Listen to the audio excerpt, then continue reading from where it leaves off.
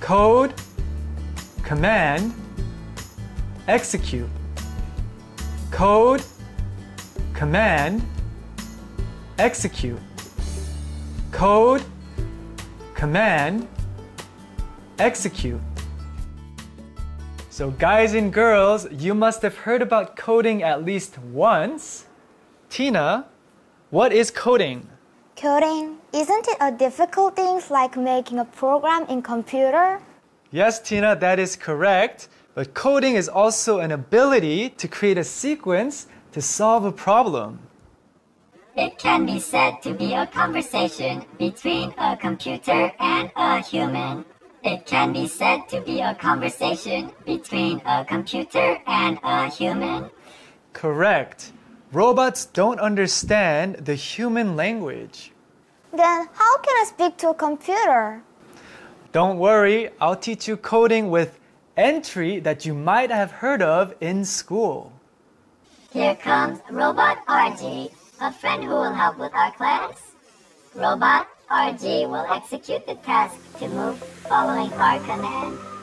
Yes, but it doesn't move without our command.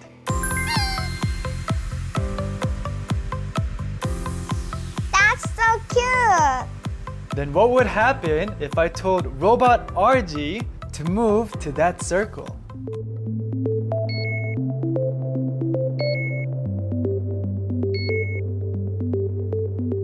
I'll have ears so it will move, right? It should. Maybe it can hear me. Shall I try? RG, please move to that circle.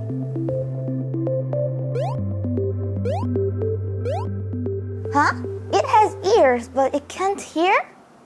No, it's because you did not talk to Robot RG in computer language. It's because you did not talk to Robot RG in computer language. Exactly. So if you want Robot RG to move to the circle, we have to command it. How? I'll show you. Robot RG, go three blocks forward, turn right, then go two blocks again.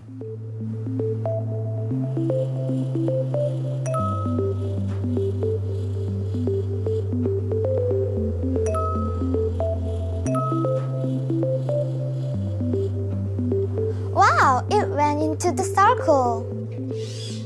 How is it? Now you know how coding works, don't you? Wow, now I see. So this time, how do we get RG to this triangle over here?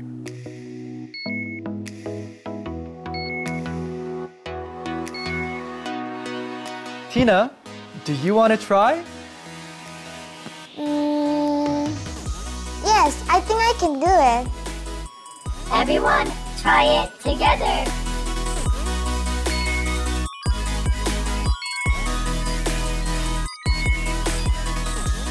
Okay, are you ready? Yes. Okay, Tina, give it a command. RG, move forward one block. Turn left. Hmm. Go forward two spaces. Turn right and go forward one space.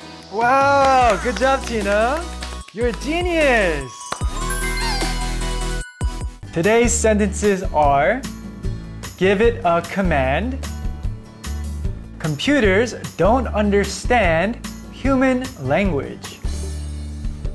Give it a command. Computers don't understand human language. Give it a command. Computers don't understand human language.